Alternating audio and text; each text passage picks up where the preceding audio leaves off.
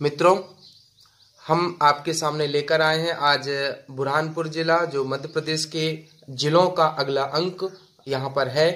इस ज़िले के बारे में हम जानने का प्रयास करेंगे कि कौन कौन सी चीज़ें ज़िले में फ़ेमस है और प्रसिद्ध है। जैसे यहाँ पर दिख रहा है हमें, दक्कन का दरवाज़ा है, अंतिम विजय असीरगढ़ को जीतकर अकबर ने किया था। नेपानगर क्यों प्रसिद्ध है, नेशनल न्यूज़ प्रिंट है। ऐसी बहुत सी जानकारियाँ हम इस ज़िले के बारे में पढ़कर जान सकते हैं और यह हमारे एग्ज़ाम के लिए, चाहे वो वर्ग तीन का एग्ज़ाम हो, चाहे वर्ग दो, वर्ग एक का एग्ज़ाम हो, चाहे कोई भी एग्ज़ाम हो, मध्य प्रदेश से रिलेटेड, चाहे एमपीपीएससी का हो, कोई भी एग्ज़ाम हो, सभी एग्ज़ाम में यह बुरहानपुर जिला हमारे लिए सहायक सिद्ध होगा। तो दोस्तों, ऐसी अपॉर्चुनिटी को आप मिस ना करें और ध्यान पूर्वक इस ज़िले के बारे में जानने का हम प्रयास करेंगे और आप भी हमारा सहयोग दें, जिससे कि हम आगे से आगे और भी नए वीडियोस को बनाते रहें। तो सब्सक्राइब कराने का काम आपकी ज़िम्मेदारी है। तो चालू करते हैं। शेख बुरहानुद्दीन के नाम पर इस नगर को राजकुमार नासिर खान द्वारा तेरह सौ अठासी ईस्वी में स्थापित किया गया था और ताप्ती नदी के तट पर स्थित है। ताप्ती नदी कहाँ से निकलती है दोस्तों? ताप्ती नदी बैतूल ज़िले के मुल्ताई तहसील से होते हुए पूर्व से पश्चिम की ओर बहती हुई ऐसी दो नदियाँ हैं जो पूरे भारत में नर्मदा और एक दूसरी ताप्ती नदी है जो पूर्व से पश्चिम की ओर बहती है और अंत में जाके अरब सागर पे जाके गिर जाती है, समाप्त हो जाती है। तो दोस्तों हमने देखा बुरहानपुर ज़िले में स्थित असीरगढ़ किले के दक्कन का दरवाज़ा कहा जाता है और इस इसको जीतने बिना दक्षिण भारत में प्रवेश करना नामुमकिन कहा जाता है। 1600 ईस्वी एक में अकबर ने अपनी अंतिम विजय में असीरगढ़ को जीत लिया था और शाहजहां की प्रेमिका मुमताज़ बेगम की कब्र असीरगढ़ में है। ये ऐसा हम मानते नहीं है, ऐसा है ही। बुरहानपुर सिख धर्म का पवित्र स्थल है। प्रथम गुरु नानक देव और अंतिम गुरु गोविंद सिंह यहाँ पर पधारे हुए थे।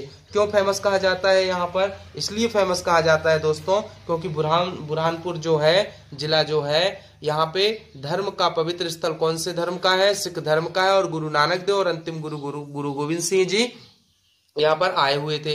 बुरहानपुर ज़िले नेपानगर में नेशनल न्यूज़ प्रिंट का पेपर मिल है। अखबारी कागज़ का कारखाना यहाँ पर है। बुरहानपुर के आहू खाना में मुमताज़ महल की मृत्यु हुई थी। ये सबसे इंपॉर्टेंट क्वेश्चन पीएससी में भी पूछा गया है दोस्तों कि बुरहानपुर के निकट आहू खाना में मुमताज़ महल की मृत्यु हुई और उसी उसकी पहली कब्र यहीं बनी थी। तो क्वेश्चन पूछा जाता है कि मुमताज़ महल की आ, सबसे पहले कब्र कहाँ पर बनाई गई थी? तो क्वेश्चन कई बार पूछा गया है तो बुरहानपुर इसमें सबसे सटीक आंसर आता है। आगरा कब्र को बाद में ले जाकर यहाँ पे ताजमहल का निर्माण करवाया था। बुरहानपुर को बुनकरों का शहर कहा जाता है दोस्तों।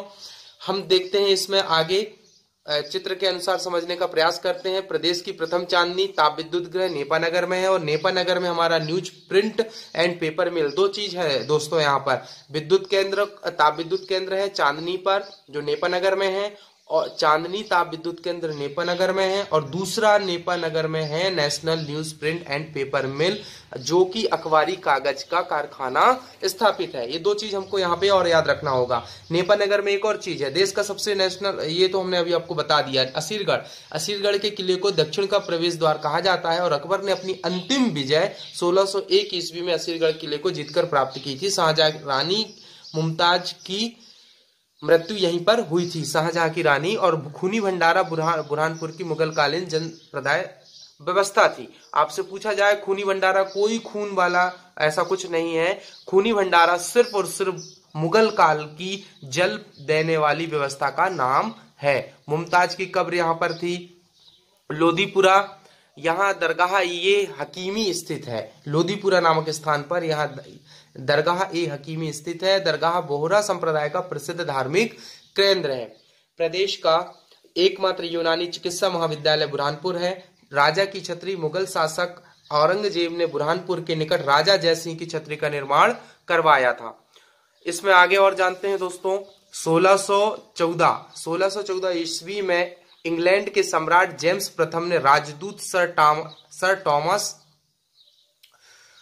sir Thomas Roe को मुगल सम्राट जहांगीर के दरबार में भेजा। सर टॉमस रो ने दरबार में जाने से पूर्व बुरहानपुर के शहजादे परवेज से भेंट की थी। 15 अगस्त 2003 को बुरहानपुर ज़िले का गठन खंडवा ज़िले को विभाजित कर कर किया गया था। ये बात भी हमको याद रखनी चाहिए कि कभी कभी पूछ लेता है कि आ, कब इसको अलग किया गया बुरहानपुर ज़िले किससे अलग हुआ खंडवा से अलग हुआ है पंद्रह अगस्त 2003 को अलग हुआ। बुरहानपुर में मुगलकालीन जल निकास प्रणाली खूनी भंडारा स्थित है। यह भी हमने जान लिए। दोस्तों मध्य प्रदेश शासन ने वर्ष 2010 में राज्य संरक्षित स्मारक घोषित कर दिया गया है। बुरहानपुर ताप्ती नदी के तट पर स्थित है। बुरहानपुर जिला गांजा उत्पादक जिला है। सबसे इंपॉर्टेंट बात है कि बुरहानपुर गांजा उत्पादक जिला भी कहा जाता है, क्योंकि खंडवा भी गांजा उत्पादक जिला माना जाता है। महाविद्यालय, यूनानी चिकित्सा महाविद्यालय यहाँ पर स्थित है। दोस्तों, दूसरा आयुर्वेदिक महाविद्यालय यहाँ पर है, ताप विद्युत, चांदनी ताप विद्युत केंद्र यहाँ पे है, सार्वजनिक उपक्रम में हम देखें तो बुरहानपुर ताप्ती मिल्स लिमिटेड बुरहानपुर है यहाँ पर। प्रसिद्ध स्थलों के बारे में जानकारी प्राप्त करें मित्रों तो बुरहानपुर ज़िले का सबसे बड़ा नगर बुरहानपुर, शेर बुरहानुद्दीन के नाम पर पड़ा है। नगर में कई ऐतिहासिक भवन है, जिनकी कला और स्थापत्य इतिहास महत्वपूर्ण स्थान है। बीबी की मस्जिद है, जामी मस्जिद है वादशाही किला है, नासिर खान, आदिल शाह की मजार है, राजा की छतरी है, खूनी भंडारा प्रसिद्ध ऐतिहासिक स्थल यहाँ पर है। इच्छा देवी का मंदिर बुरहानपुर से 23 किलोमीटर दूर ऐदलाबाद मार्ग पर इच्छा देवी का मंदिर स्थित है। ऐसा माना जाता है कि मराठा सरदारों ने इच्छाओं की पूर्ति करने वाली देवी इच्छा से सामान्यता ली थी कि यदि उसे पुत्र की प्राप्ति होती है तो इच्छा देवी का एक मंदिर और कुआँ बनवाया जाएगा। तो दोस्तों, यहाँ पर हम सबसे बड़ी बात, ये दोनों चीज़ देख रहे हैं कि यहाँ पर मंदिर भी है और यहाँ मस्जिद भी है। तो ये बहुत बड़ी बात है, हिंदू और मुस्लिम दोनों की भाईचारे के लिए इस ज़िले में बहुत अच्छी बात देखी जाती है।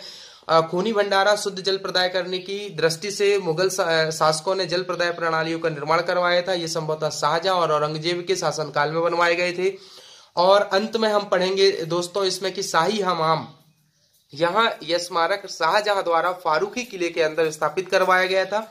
इस स्मारक के बीचों बीच अष्टकोणीय स्नान कुंड है। अष्टकोणीय स्नान कुंड कहाँ पर है? ये पूछा जाए आपसे तो फारूकी किले के अंदर है और यह किसने बनवाया था? शाही हमाम ने बनवाया था।